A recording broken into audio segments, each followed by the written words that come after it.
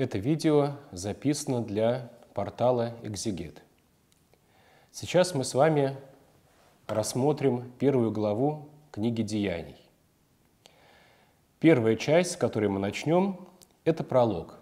Пролог занимает первые три стиха, и мы постараемся по возможности извлечь из этих трех, э, э, из этих трех стихов максимальное, максимальное количество полезных для нас сведений. Первое, что мы узнаем из пролога. То, что деписатель Лука ссылается на свою некую первую книгу.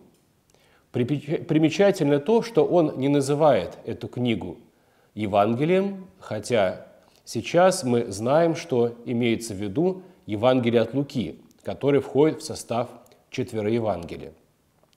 Почему он, он не называет свою книгу Евангелием?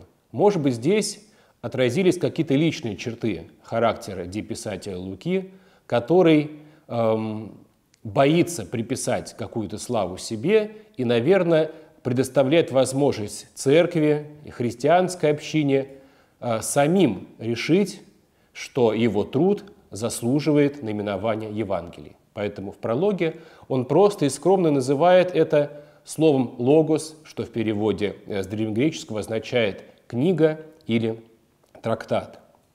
Очень важно и то, что из этих слов мы понимаем, что у этих двух книг Нового Завета один и тот же автор. Пролог написан в форме обращения к некому Феофилу. Сразу следует сказать, что никаких сведений об этом человеке мы не имеем. Кто имеется в виду? Либо просто один знакомый деписатель Луки, которому он пишет свои труды для наставления его вере.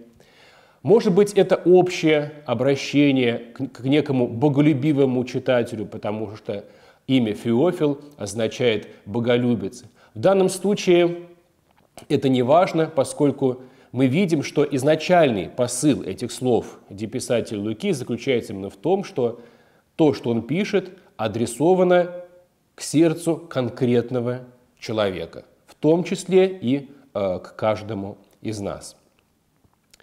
В прологе деписатель Лука кратко очерчивает рамки евангельского повествования, которое он писал ранее о всем, что Иисус делал и чему учил от начала.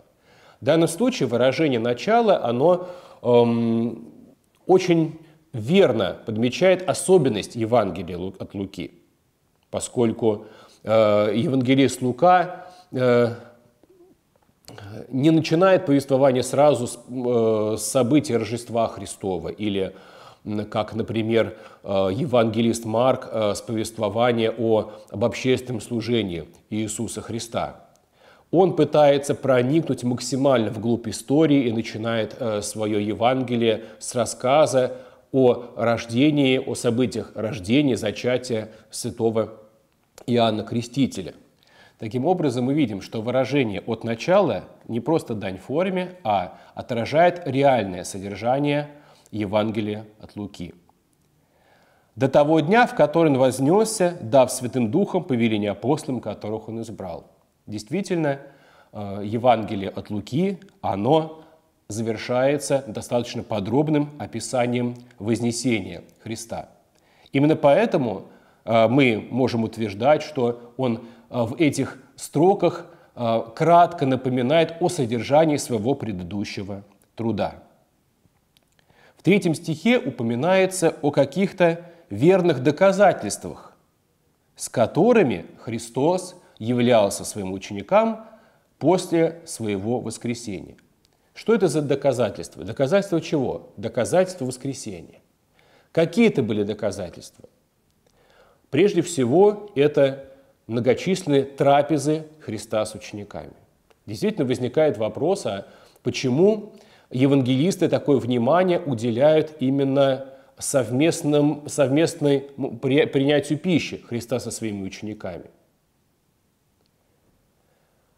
Эти трапезы служили доказательством того, что Христос действительно воскрес плотью, потому что только человек, имеющий плоть, может вкушать пищу.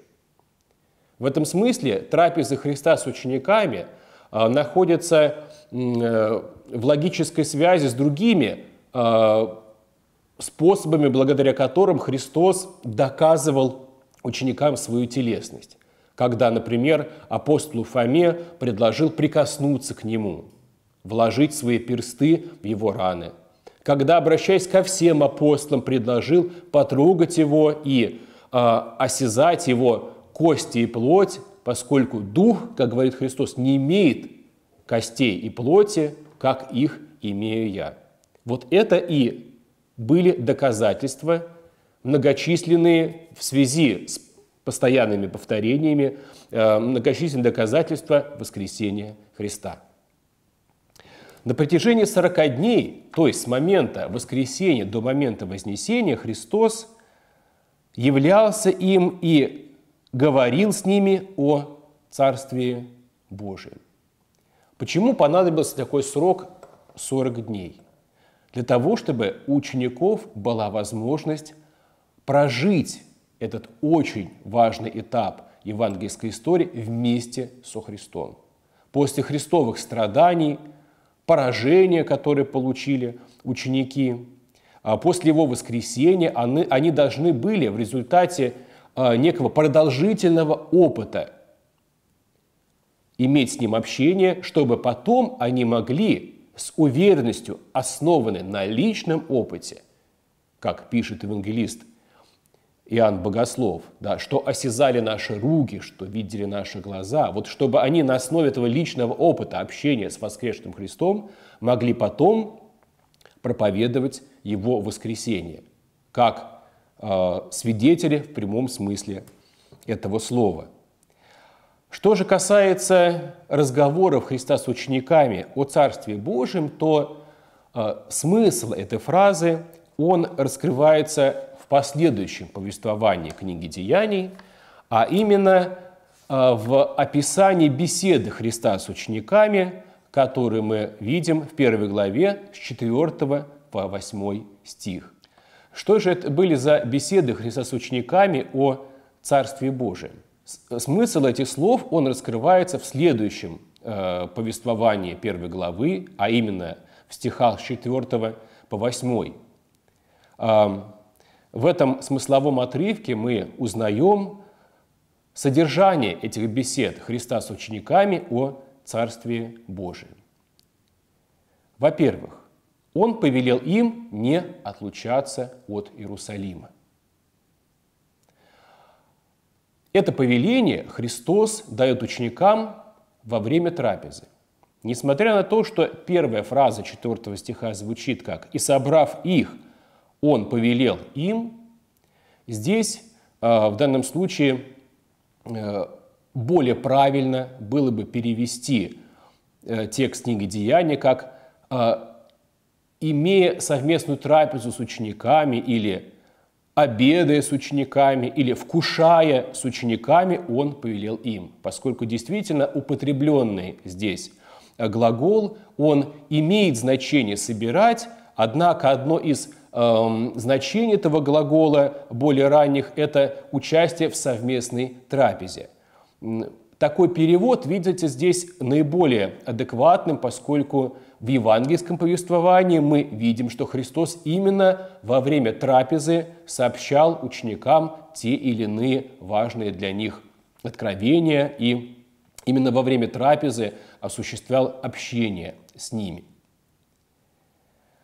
Повеление не отлучаться от Иерусалима имело для учеников э, специальный смысл. Ведь именно в Иерусалиме ученики потерпели поражение. Именно там они испытали наибольший страх, страх потери своего любимого учителя и страх перед тем, что гонения, обрушившиеся на Христа, они могут перейти на них. И именно там, где они испытали наибольший страх, именно с этого места они должны будут начать безбоязненно и смело проповедовать Евангелие, проповедовать воскресение Христово. С другой стороны, а, у этого повеления а, может быть и следующий смысл. Ведь если вы ученики, ушли в какую-то другую землю, в другой город, в другую страну, то всегда у их оппонентов был бы следующий аргумент. Вот смотрите, здесь эти обманщики, они потерпели неудачу, поэтому они ушли в другой город, в другое место, и тем людям, которые ничего не знают о них, пытаются проповедовать свое новое учение. Они остаются в Иерусалиме не просто так. Они должны ждать обещанного от Отца, о чем вы слышали от меня. Здесь мы видим отсылку к Евангелию от Иоанна, когда Христос обещает ученикам послать им другого утешителя, Духа Святого. И вот сошествие этого Духа Святого они должны ждать в Иерусалиме.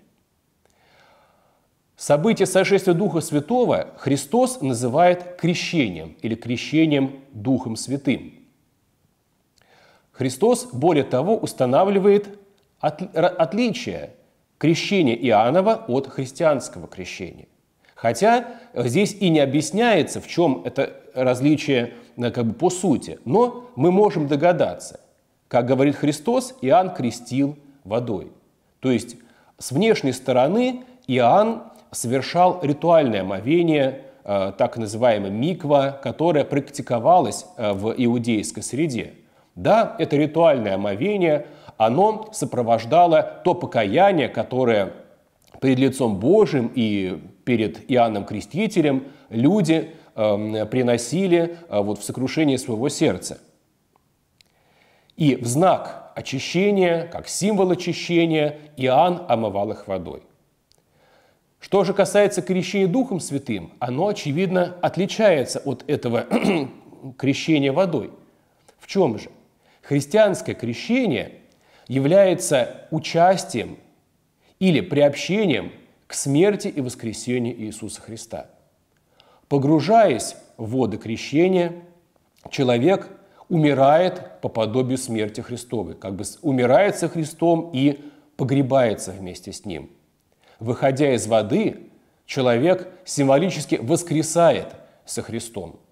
Таким образом, христианское крещение есть путь причастности Христу через символическое участие в Его страданиях и в Его воскресении. Ученики задают Иисусу Христу очень интересный вопрос. Не в это ли время, Господи, Ты восстановишь царство Израилю или царство для Израиля? Если мы вспомним евангельское повествование, то мы увидим, что Христос иногда упрекал своих учеников за недопонимание ими каких-то сторон э, евангельского учения. И здесь мы видим, что деписатель Лука абсолютно беспристрастно описывает э, внутреннее состояние учеников, эм, которые пока еще далеко от подлинного просвещения Духом Святым – они задают Христу вопрос, который находится абсолютно в контексте их э, исторического иудейского мировоззрения, согласно которому все-таки Христос – это, с одной стороны, исполнитель закона, и с другой стороны, это вождь э, Израиля, который восстановит Израильское царство в его, э, конечно, земной славе, очевидно, Э, будет свергнута власть римлян. И все-таки мы видим, что э, в этом вопросе учеников Христос обретает черты именно земного торжествующего правителя, что, конечно же, выглядит как-то неуместно и неловко на фоне тех событий, которые сейчас происходят. Именно поэтому Христос им говорит, не ваше дело знать времена и сроки, которые Отец положил в своей власти. Конечно же, Христос, отвечая на этот вопрос, имеет в виду наступление Царствия Божия во время Его второго пришествия. Но ученики пока не способны это понять. Примечательно то, что Христос не уклоняется здесь от ответа. Он им говорит, но вы примете силу, когда сойдет на вас Дух Святой. То есть сейчас вы не способны это понять, но силу к пониманию Э, божественного откровения, к правильному пониманию, вы примете тогда, когда сойдет Дух Святой, и уже не будете больше задавать таких неуместных вопросов. Вместо наступления царства который мыслится учениками все-таки в каких-то земных чертах, Христос им обещает, что они будут его свидетелями в Иерусалиме, в Иудее, в Самарии и даже до края земли. Слово «свидетель» здесь ключевое. Они будут свидетелями воскресения Христа. А как можно серьезно и с полной уверенностью свидетельствовать о воскресении Христа? Конечно, если ты готов умереть, потому что ты проповедуешь воскресение плоти, значит, смерть тебе не страшна. И в этих словах мы видим предсказание мученической кончины большинства апостолов. А в нашей славянской традиции греческое слово «мартис» – «свидетель» переводится слово «мученик», в котором, конечно же, отражается внешняя сторона мученического подвига. Суть же этого подвига прежде всего в свидетельстве о воскресении Христа и только потом в готовности принять страдания за Него.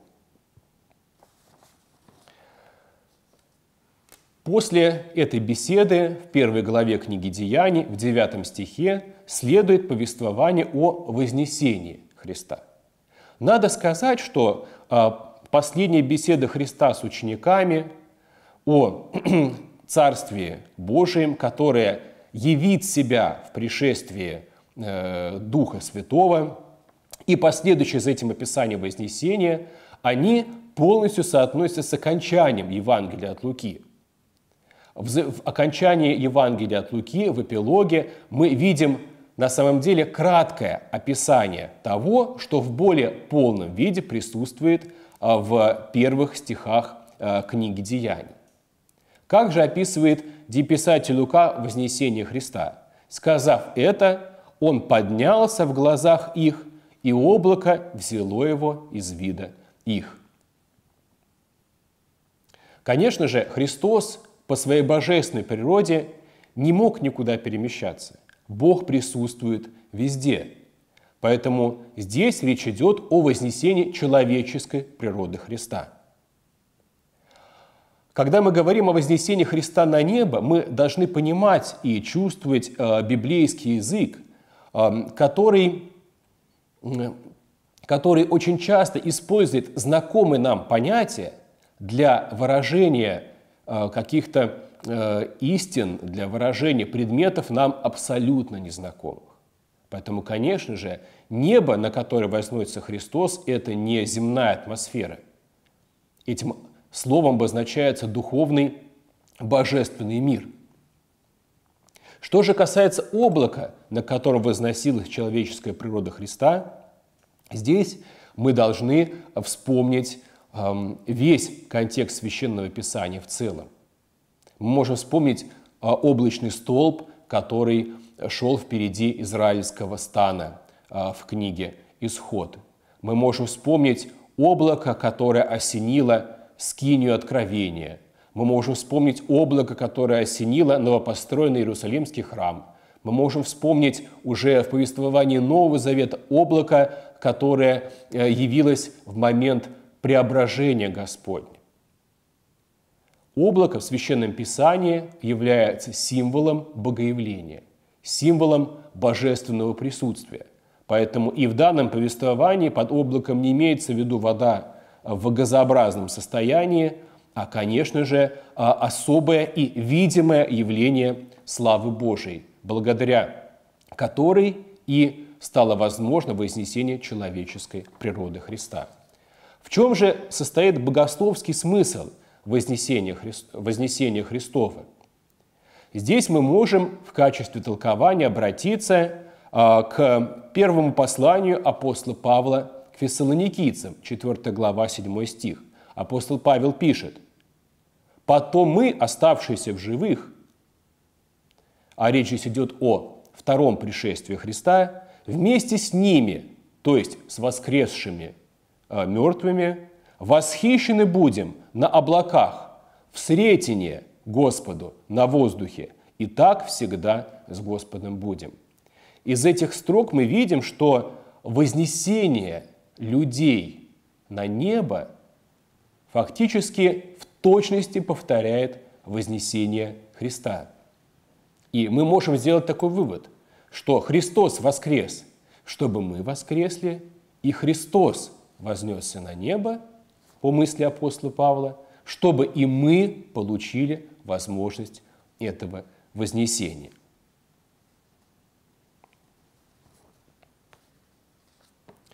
После повествований о вознесении Христа в 10-11 стихе, где писатель Лука рассказывает о явлении ангелов, которое последовало сразу после событий Вознесения.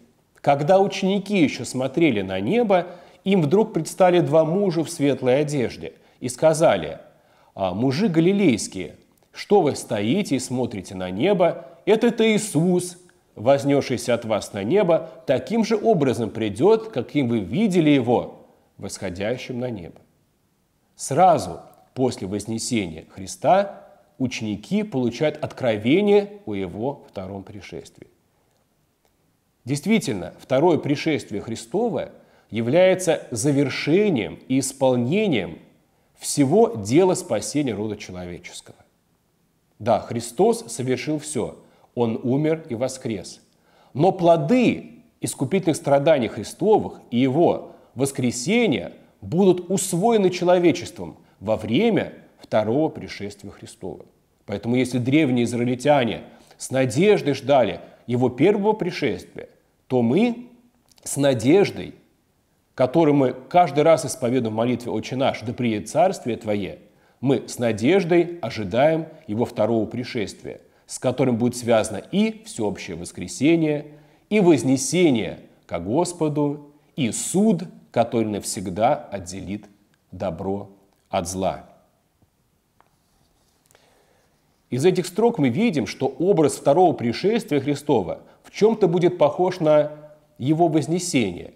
Придет, говорят ангелы, таким же образом, как вы видели его восходящим на небо. Следующий смысловой отрывок первой главы, стихи с 12 по 14, э, раскрывает нам историю тех десяти дней между Вознесением и Пятидесятницей, когда апостолы пребывали в Иерусалиме в единстве друг с другом и в молитве. Тогда они возвратились в Иерусалим с горы, называемой Елеон, которая находится близ Иерусалима в расстоянии субботнего пути – что такое расстояние субботнего пути? Мы с вами знаем, что иудеи очень почитали заповедь о субботе, о субботнем покое, и э, эта заповедь обрастала множеством мелких, детальных и мелочных э, толкований. И было правило, согласно которому в субботний путь благочестивый человек мог проходить не более двух тысяч локтей или 5-6 стадий, или э, в переводе на современные меры длины э, расстояние 900 метров. Если э, передвижение человека не превышали этот лимит, то считалось, что он не нарушил субботу, поскольку э, суббота – день покоя, а всякое движение – это есть работа и, следовательно, нарушение этой заповеди о покое.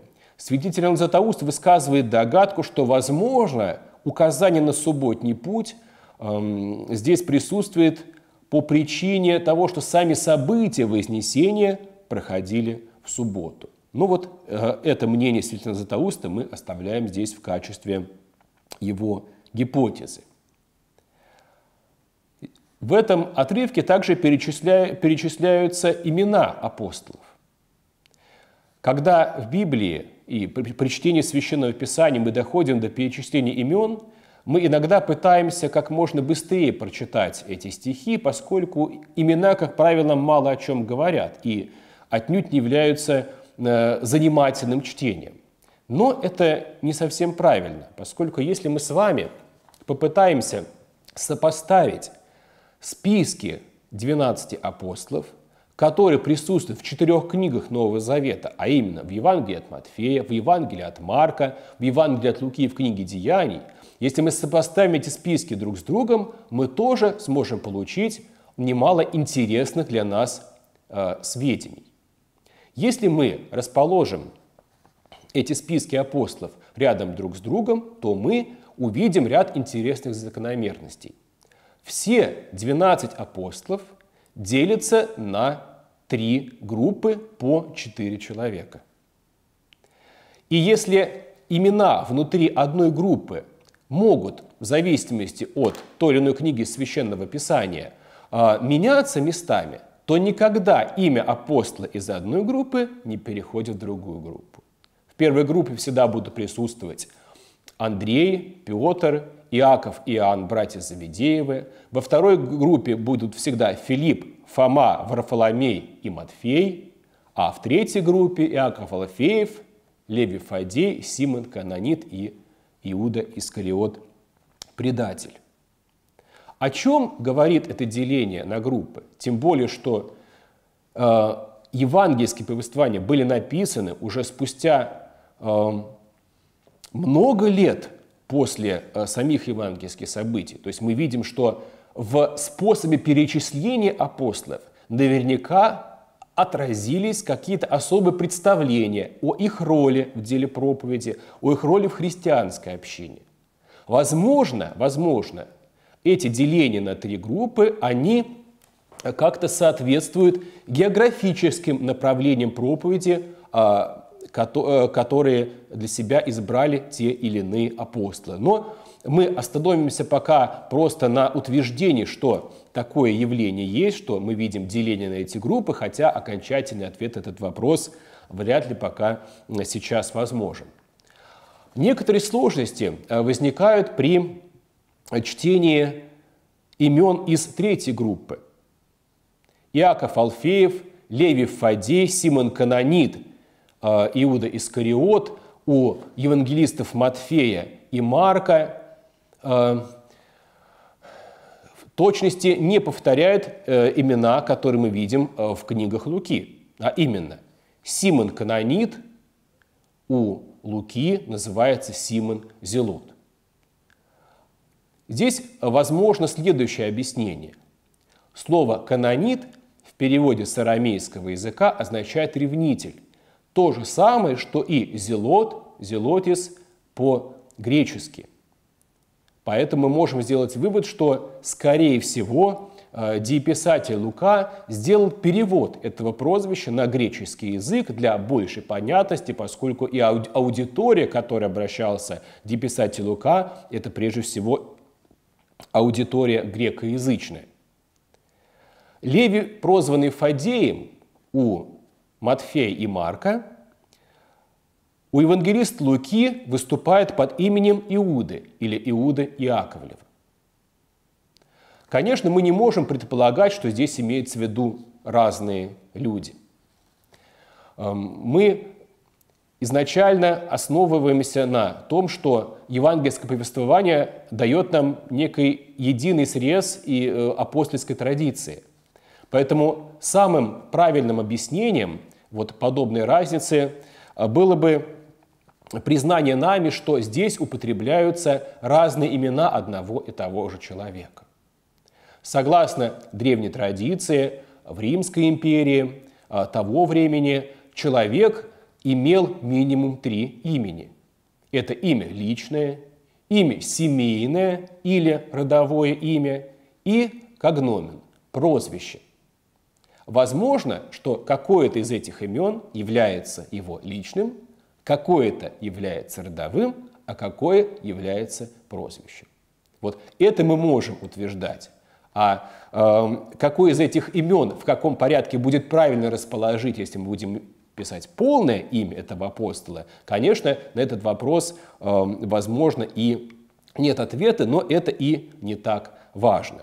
Так что мы имеем дело с человеком по имени Леви, Фадей, Иуда или Иуда, э, Левий, Фадей. Э, обозначение этого апостола как Иуда Иаковлева означает только то, что он был братом Иакова, поэтому, по сути дела, к, сути, э, к содержанию самого имени, к составным частям э, большого отношения не имеет. Вот на примере э, сравнительного анализа списков апостолов в разных книгах Нового Завета мы, наверное, можем убедиться, что иногда может быть э, следует быть более внимательными к тем частям Священного Писания, которые нам кажутся скучными и малоинформативными. Наряду с апостолами в, этих, в этом отрывке упоминается Матерь Иисуса и э, братья Его. Это интересно, поскольку это одно из немногочисленных упоминаний о Богородице в Новом Завете, а также свидетельство того, что э, братья Иисуса Христа, то есть его, э, то есть э, сыновья Иосифа от первого брака, который был до браком э, с Марией, они уже уверовали в него, э, хотя из евангельского рассказа мы с вами знаем, что Э, его близкие родственники не сразу поверили э, в него как в Спасителя и как в Мессию. Завершается рассказ первой главы описанием избрания апостола Матфея на место отпавшего Иуды. Этот рассказ обнимает 15-26 э, стихи первой главы. Происходит собрание первохристианской общины, человеку около 120, достаточно немногочисленное. И Петр, святой апостол Петр, обращается к ученикам, мужи братья, надлежало исполниться тому, что предрек Дух Святой устами Давида об Иуде.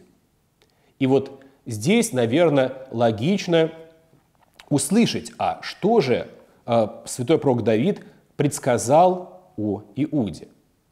Но эти свидетельства из псалмов Давида будут приведены святым апостолом Петром позже. Святой апостол Петр неожиданно меняет направление своего рассказа, и вместо того, чтобы привести цитаты, которые здесь напрашиваются, он начинает рассказывать о последних днях жизни Иуды, о его трагической гибели, о промыслительном, конечно, в трагическом смысле значении его кончины, его смерти, и только потом возвращается к цитатам.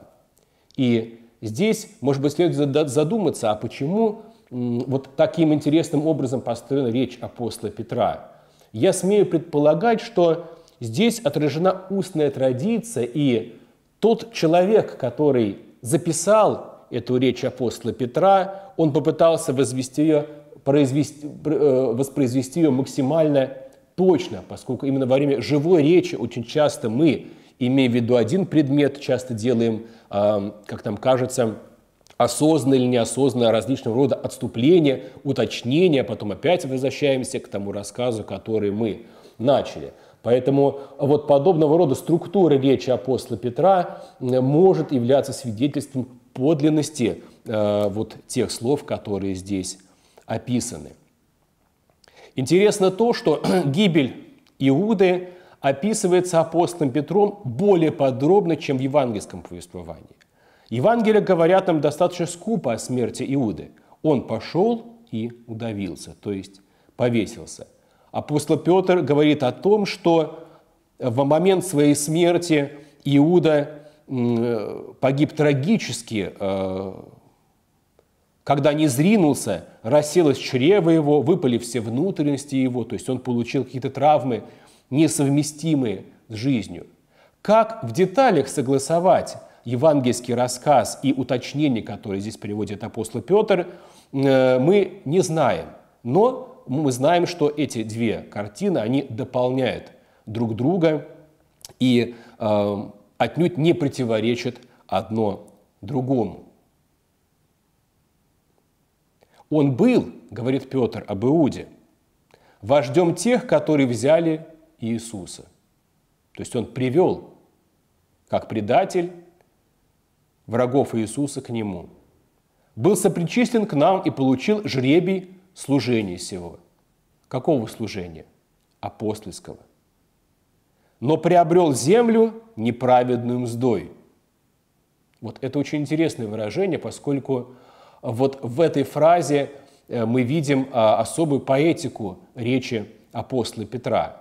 Что значит приобрести землю неправедную мздой? Нечестно ее купить. Но разве Иуда покупал какую-либо землю? Нет, конечно. Но мы понимаем, что за те деньги, за которые Иуда предал Христа, а именно 30 серебряников, можно было купить участок земли. И, может быть, Иуда, э, мечтая о том, как он проведет остаток своих дней, думал об этом земельном участке и желал вот получить эту выгоду от предательства Христа. Но приобрел эту землю, он не приобрел, конечно, ее, но хотел приобрести неправедным путем. Он не приобрел эту землю в буквальном смысле, но он приобрел ее именно в том смысле, что деньги предательства, которые он вернул фарисеям, они послужили э, достаточным, достаточным основанием для покупки земли для погребения странников. То есть за деньги предательства был куплен участок под кладбище. И здесь мы тоже э, можем видеть э, определенную горечь в словах апостола Петра. Человек искал хорошей жизни ценой предательства, а приобрел землю мертвых, кладбище, да еще и неправедным мздой. Более того, какую еще землю приобрел апостол Иуда? Та земля, на которой он погиб, на которой он повесился, стал называться землей крови. Земля-то на отечественном их наречии называется Акелдама, то есть земля крови. Мы видим здесь в речи апостола Петра как бы несколько слоев смысла. И поэтому апостол Петр здесь не просто э, передает нам э, некие исторические сведения. Мы видим, что они особым образом э, осмыслены и даже с некой э, долей поэзии. И э, мы видим здесь такое образное мышление апостола Петра. Так вот, апостол Петр, тем не менее, приводит цитаты из псалмов, которые, по его мнению, являются пророчеством о э, Иуде-предателе. «Да будет двор его пуст, и да не будет живущего в нем». Действительно, как точно. Не будет живущего в нем. Тех людей, которые будут находиться на земле, которую в кавычках купил Иуда, нельзя назвать живыми. Это будут мертвые, похороненные на этом кладбище. Достоинство его да примет другой. Оба эти отрывка, э, пророческих отрывка находятся в псалмах 68, стих 26, и в псалме 108, стих 8. Закончив рассказ об Иуде, апостол Петр предлагает избрать нового человека на место отпавшего Иуды – надо, чтобы один из тех, которые находились с нами во все время, когда пребывал и обращался с нами Господь Иисус, начиная от крещения Иоаннова до того дня, в который Он вознесся от нас и вместе с нами был свидетелем воскресения Его. Здесь апостол Петр предъявляет особые критерии к кандидату в апостолы. Этот человек должен быть не просто благочестивым человеком, но он должен быть свидетелем фактически всего служения Христа, начиная с крещения Иоаннова, все это время вплоть до момента воскресения. Поскольку смысл апостольской проповеди – это свидетельство о воскресении Христа, следовательно, и апостол должен быть непосредственным созерцателем всех этих событий. И вот из всех 120 человек – находится двое, которые отвечают этим требованиям. Иосиф, называемый Варсавой, который прозван Иустом, и Матфий. Несколько возвращаясь назад, хотелось бы остановить ваше внимание на первом кандидате – Иосиф, Варсава и Иуст. Это три имени одного и того же человека. Имя Иосиф здесь является его личным именем, согласно традиции того времени, Варсава – имя родовое, сын Саввы, и Иуст – когномен или прозвище, в данном случае это латинское прозвище, Юстус, что значит «справедливый». И Матфий. После молитвы был брошен жребий, который указал в пользу Матфия, и он был причислен к одиннадцати апостолам. Но перед тем, как бросить жребий, апостолы произносят молитву – ты, Господи, сердцеведец всех, покажи из сих двоих одного, которого Ты избрал. Кто конкретно произносит молитву, здесь не указано. Но мы можем догадаться об этом. В этой молитве Господь назван сердцеведцем. В книге Деяний Господа называют сердцеведцем еще один раз. В 15 главе апостол Петр, произнося речь на апостольском соборе, называет Господа этим именем. Поэтому мы можем сделать вывод, что и молитву от лица всех произносил именно апостол Петр. Возможно, здесь отразились какие-то личные моменты э, судьбы апостола Петра. Ведь именно Господь открылся ему как его сердцеведец. Он хотел быть ревностным последователем Христа, но Господь провидел его сердечную слабость и предсказал его предательство – и Господь, опять-таки, зная любовь Петра к нему, восстановил его в апостольском достоинстве, когда апостол Петр сказал, «Господи, Ты все знаешь, Ты знаешь, что я люблю Тебя».